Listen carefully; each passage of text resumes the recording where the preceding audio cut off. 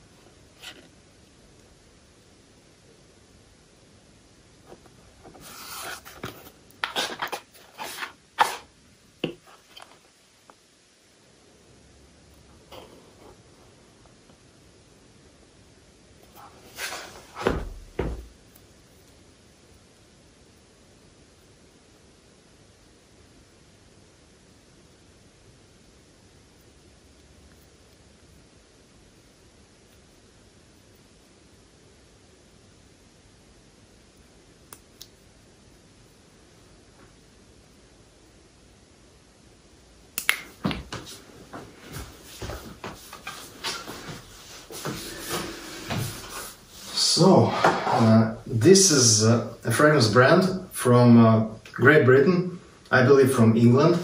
Uh, it's written here, made in England. Oh yeah, it's all it already smells. Actually, from here it uh, reminds me a little bit of one fragrance that I have.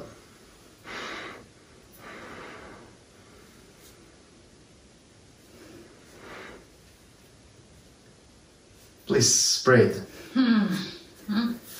Uh, it will be Julia's uh, first impressions.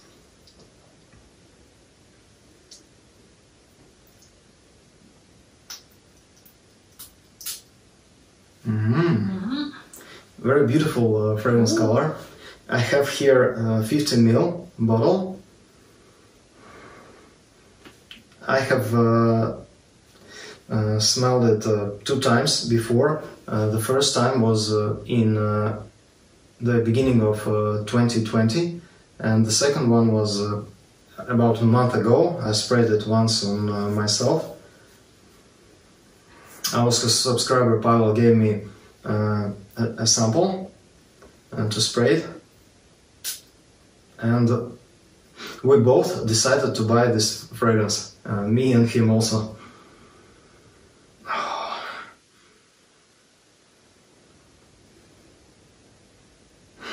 Well, it's uh, rosewood. Yeah.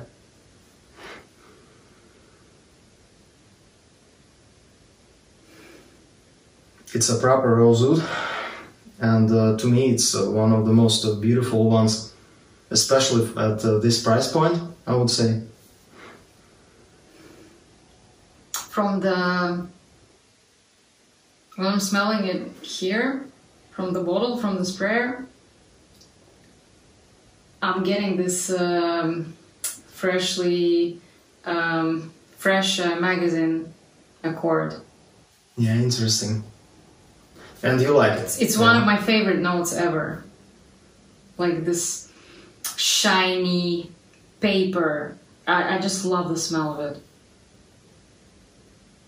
On the skin, uh, it's present, but not as much as uh, from the sprayer. Uh, when I first first sprayed, uh, smelled it uh, from the bottle, uh, it gave me some vibe from uh, Lemat from Midi Rosa, this uh, beautiful uh, spicy rose. Really? Yeah, but uh, here from the skin it doesn't smell like Lemat, No. but it has uh, a lot of beautiful rose, also like Lemat has, and it ha- it also has uh, spiciness and this uh, balsamic nuances. But Lemat doesn't have any wood. But here I can uh, I can feel the wood. Also, I would say yeah, Yeah. it smell it smells like it has wood. And actually, the, the brand says that uh, they have here uh, 33 years old, aged, uh, uh, natural wild Chinese oud oil. Uh, and also uh, natural Chinese uh, rose oils, yeah. So I would say this uh, has amazing roses here, very beautiful. Uh, smells very natural to my nose.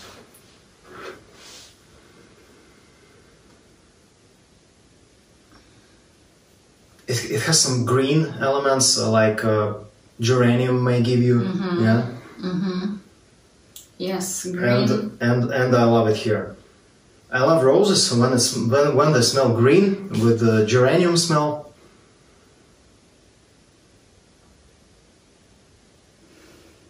Oh, I think it's uh, fantastic, Yes, this is a really potent fragrance. I and it's say. it's strong and it lasts a very long time.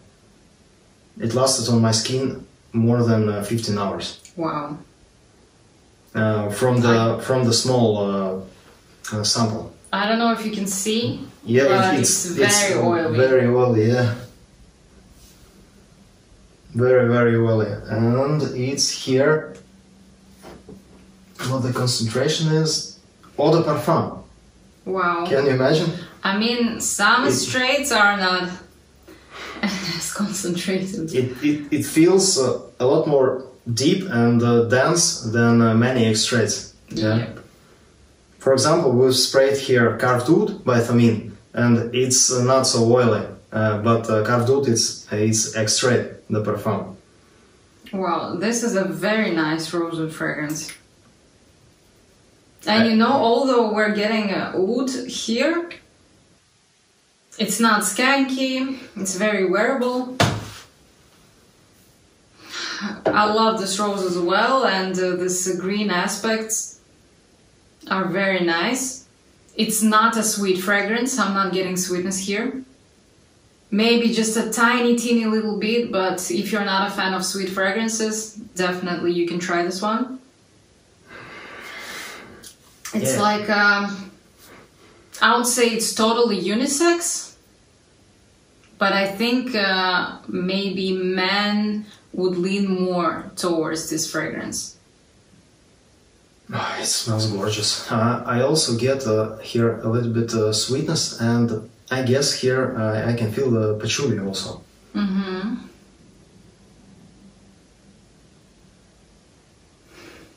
It's not barnyardy or uh, uh, fermented, but somehow it uh, feels like it has wood. You know, Yeah. this dark woodiness.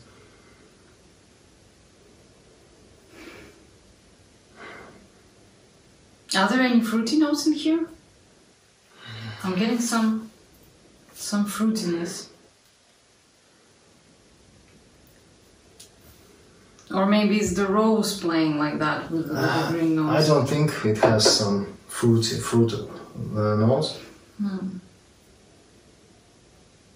It has a lot of rose, a lot of woodiness, uh, spiciness, patchouli, It's just some ambery balsamicness. yeah. It, it has some uh, metallic touch also from this fragrance.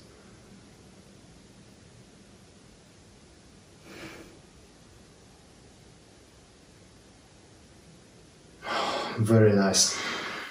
Beautiful fragrance. For a night out, I would say, for the evenings, for special occasions, not an everyday scent. I think uh, you would get tired of it uh, because it's very dense, it's projecting well, and it's very dark as well. I think it would work uh, very good all year round. I would say, but uh, for many people, uh, probably this would be better in uh, fall and winter. I would say, yeah. Actually, on my skin, it's getting kind of uh, a little more positive than it was uh, on the first spray. I'm my rose is getting sweeter. It's in the Rose here is beginning. I- in the beginning, I did not get any sweetness at all, and now it's getting sweeter. Actually,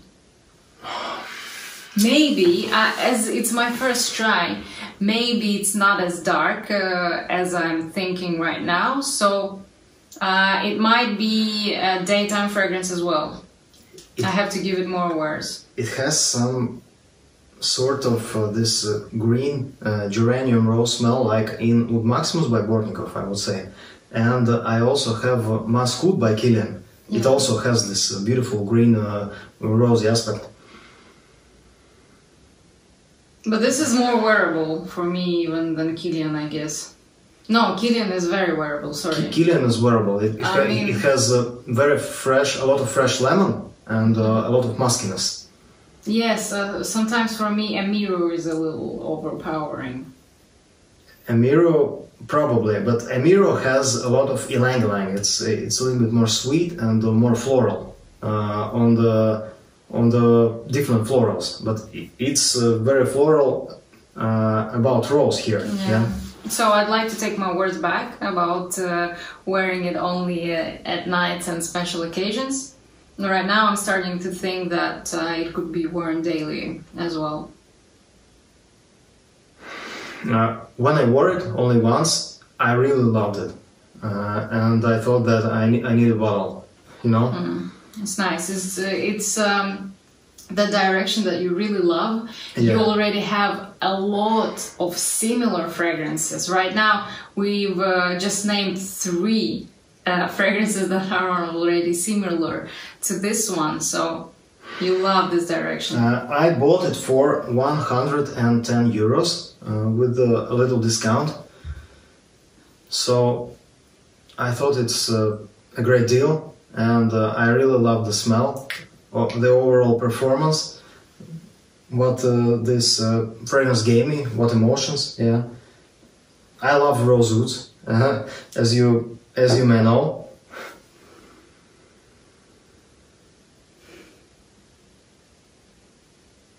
I think it's great uh, for uh, value for money. Definitely. It's getting much more positive than in the beginning. Uh, but uh, if I compare it with Oud Maximus uh, by Bortnikoff, uh, Oud Maximus has, to my nose, a lot more oud in it. Yeah. Definitely. Okay, very good fragrance. I am enjoying it a lot. It's my first try, and it's a very good wood um, rose uh, fragrance or rosewood fragrance because I think rose is even a little more prominent. Uh, So yeah, let's let's see the notes, please. sure. Yeah, and and I really enjoy the presentation. It's uh, very lovely. It is nice. Delicious. Uh, well, the notes are Soft uh, black pepper, candied mandarin, and caoutchouc uh, at the top. Um, candied mandarin. I was looking forward actually. Where is my candied mandarin? I don't I don't get here any citruses or mandarins, but it has some sweetness. All right, now yes. In at the very beginning, it was not sweet at all, and now I'm getting a lot of sweetness. And soft, Very soft, sweet. soft black pepper, it, it has it, it definitely has some spiciness in it. Okay, so hard notes are Chinese white tea, Chinese rose, Taif rose, orris, and Damascus steel. Well, it uh, Whatever it smells like. it, it has some metallicness to it. All right, so Chinese white tea. So Chinese rose and uh, Taif rose, uh, two two types of roses, and uh, they are beautiful here. Yeah. Actually, really amazing roses. Very high quality. Yeah, some powderiness is there as well from orris. Okay. Base uh, notes are rare, natural vintage ouds, aged patchouli, and heliotropin. Definitely has patchouli. So yeah, it says here that um, the soul of the fragrance is built around a vintage oud distilled in 1980 and aged aged uh, 33 years until its release in 2013. It gives the perfume its name, 33. Uh, it is also the only modern perfume to use a significant amount of wild harvested Chinese oud oil and natural Chinese rose oil to build the scent profile. Uh, it, it was uh, released 10 years ago. Ah, okay. Yeah. Uh, Okay. so uh, now, nowadays, after 10 years this was released, it's we have a lot of uh, natural uh, Chinese agarwood uh, fragrances. Yep. I have uh, actually one uh, fragrance from Areej Le Doré. It's Chinese Oud, uh, part 2. It has uh, wild also Ch- Chinese oud and uh, a lot of uh, uh, Chinese natural ingredients like roses and so on, like they mentioned here. But Chinese oud from Areej Le Doré is more funky, more skanky in the opening, yeah, because the wood there is a little bit challenging, and I also have um, de Doré, the history of Chinese oud. It's like uh, uh, only oud oil with uh, perfume alcohol, and that one is very challenging for my nose. It's uh, cheesy, kind of barnyardy a little bit, and uh, very animalic. Uh, here I don't get any anim- animalicness. Yeah, for me it's very wearable. Yeah. Uh, I would wear it uh, all year round, as I as I said, and it's very pleasant to my nose. Very well blended, and the ingredients are great. Approve. So I think it's a great fragrance. Ah. Great performance, great smell, great blending, uh, very smooth. If you love rose ouds, you, I highly recommend you to try it. Yeah, check Uh, this one out. Is this one better than uh, something like uh, Triad by Bortnikoff? I think no. Triad is, is better, but this one is very, very close. Yeah. So uh, on one of the website that we found, European website, it says that it costs uh, 175 euros per 50 ml of this fragrance, and in 30 ml it costs uh, 138 euros. Not the cheapest one, but not that bad either. And uh, we're watching. There is a, a little bit uh, different presentation now. It has a little bit different cap. You know. Yeah.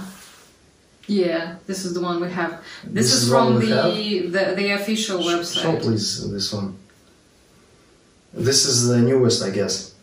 Well, actually, I believe I have a little bit older bottle. And then I'm lucky. Yeah. Yes, so. But on the official website, they have this uh, old one. Or maybe this website is dealing a fake fragrance. I no, don't know. no, no, no, no. Uh, I've heard that they changed it, uh, their uh, presentation a little bit. Okay. So I have older presentation. Yeah. So, no, this is a very nice fragrance. I'm enjoying it. Very wearable, and I'm actually very happy that um, Sweetness came out.